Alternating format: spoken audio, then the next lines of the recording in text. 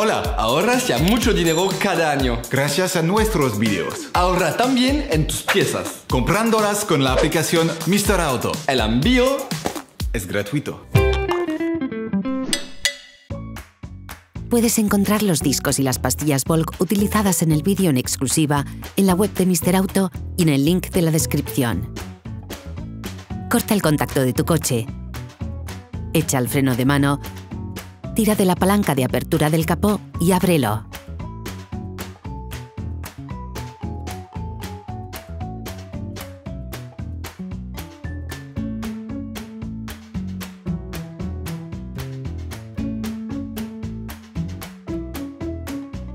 Abre el recipiente de líquido de frenos. Para cambiar los discos y las pastillas traseras de tu coche, tienes que levantar la parte de atrás y quitar las ruedas para tener un acceso completo. Desatornilla las clavijas de las ruedas delanteras, levanta la parte de delante de tu coche y colócala sobre las dos borriquetas. De todas formas, te recomendamos que veas el tutorial Levantar su vehículo con seguridad antes de realizar esta etapa. Después ya puedes quitar las ruedas. No te olvides de meterlas debajo del coche. Antes de empezar, quita el freno de mano, si no, la operación será imposible de realizar. Afloja la pinza del freno. Para ello, utiliza una llave de carraca y un casquillo del 13, así como una llave plana del 15 y quita las varillas enroscadas.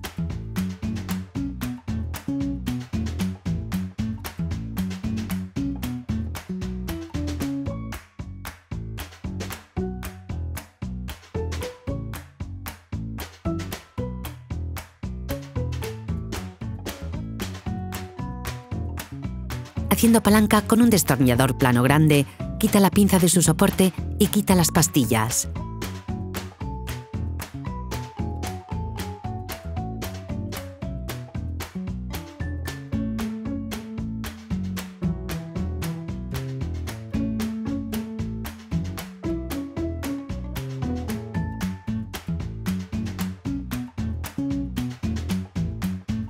Con un cepillo metálico, limpia los extremos de las superficies donde se deslizan las pastillas. Con una llave de carraca y un casquillo Torx Hembra E16, desenrosca las varillas.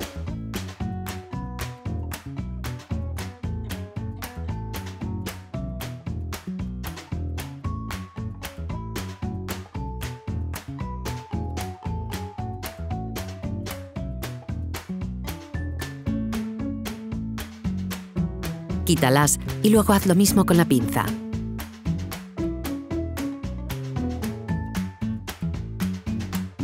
Con un martillo y destornillador grande plano, quita la tapa. Después, con una llave en T y un casquillo del 30, quita la tuerca del cojinete.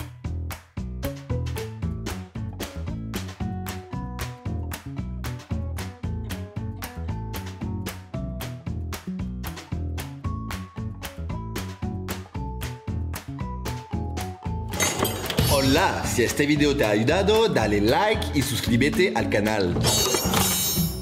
Por último, retira el disco. Limpia el sensor ABS con un limpiador de frenos y un sifón.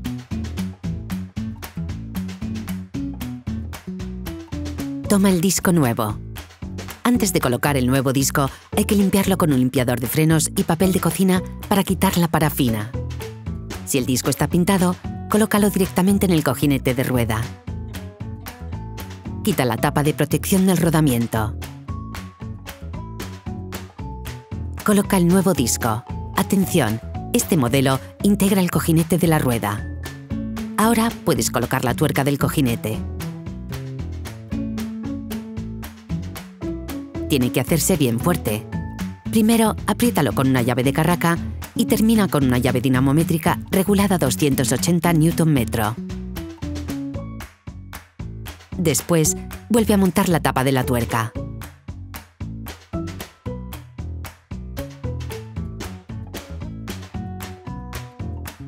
Vuelve a colocar la pinza primero apretándola con la mano y luego con una llave de carraca y un casquillo Torx hembra E16.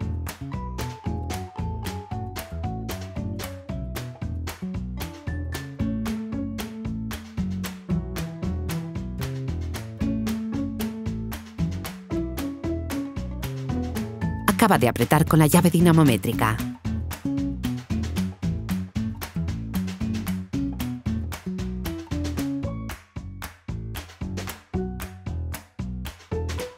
Mete el pistón.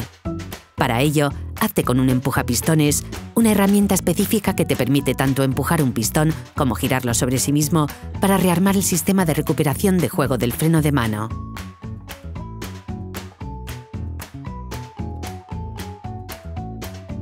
Aplica grasa de cobre en el extremo de las nuevas pastillas e introdúcelas en la pinza deslizándolas.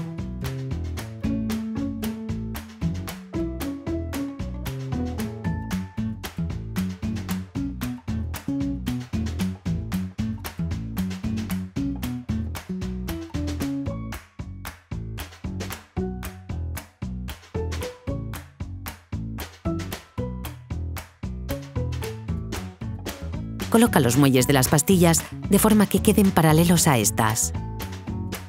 Vuelve a colocar la pinza en su sitio y las varillas roscadas.